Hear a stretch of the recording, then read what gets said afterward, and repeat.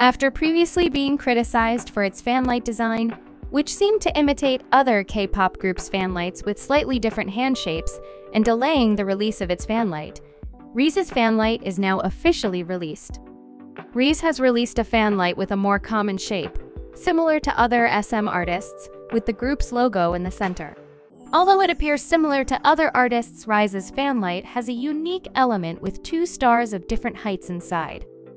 Not only that, but the tagline Rise and Realize is also included surrounding the fanlight's ball.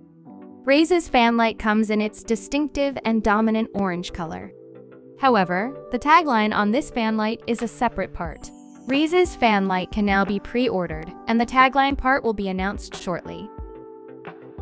After being known for her long, beautiful blonde hair, Rose has finally debuted a new style. Now, in new Instagram updates, she's showing off a shorter, layered hairstyle. Rose shared her new look via Instagram while exploring Tokyo recently. However, Rose revealed that she would soon use hair extensions to return to her original long hair.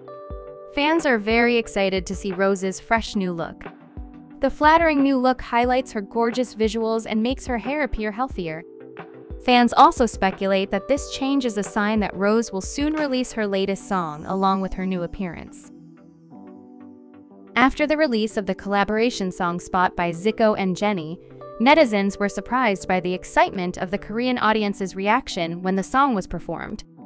In the show, The Seasons, Zico, as the new host, showcased his latest release, Spot, and the hype started from there. In particular, netizens couldn't get over the hype from the crowd during Jennie's chorus.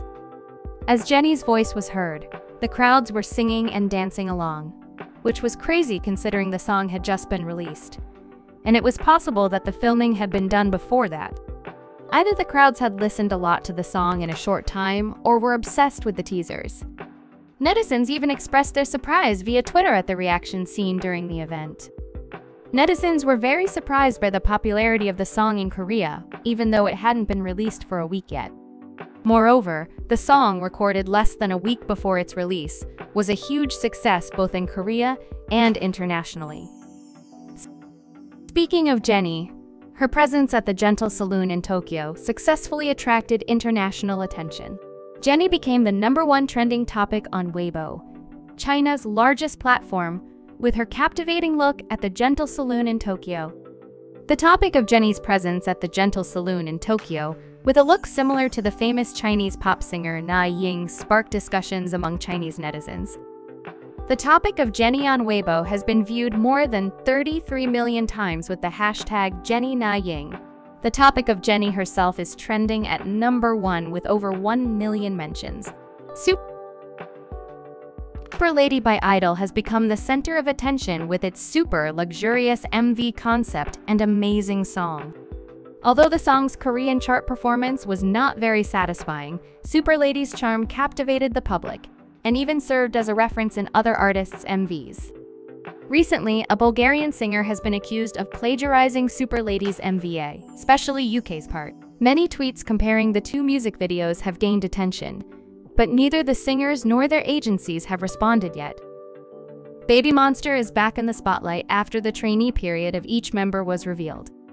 While the members of the group are quite young, between the ages of 15 and 22, it was recently revealed that they had longer trainee periods at YG Entertainment before debuting, breaking the trend of modern-day K-pop idols typically having shorter trainee periods. Netizens expressed that Baby Monster's trainee period was a true K-pop trainee period, resulting in professional and mature idols.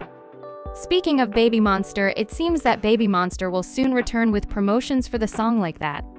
From the Mnet MPD's post-captioned, let's continue to be together with M2 in May, it's hinted that Baby Monster will return with promotions for like that. Fans speculate that Baby Monster will return with their incredible vocals to promote like that. Secret Numbers Dita and Leah have become the talk of fans with their latest photos together with someone who turns out to be a cast member of the dating show Lovecatcher in Seoul. Now, fans hope that Leah will soon open her own Instagram account because they are eager to see her interactions with her unexpected circle of friends. Dita is also a topic of discussion among fans with the release of her dance cover for one of Tyla's songs. Dita's dance skills have once again been praised by fans. Speaking of Secret Number, there is no indication yet of their comeback. Many fans believe that Secret Number will make a comeback right after their tour ends, hoping to boost album sales and increase total streams. Some also speculate that Secret Number may perform a new song during their tour, which will later be released with their next album. What do you think?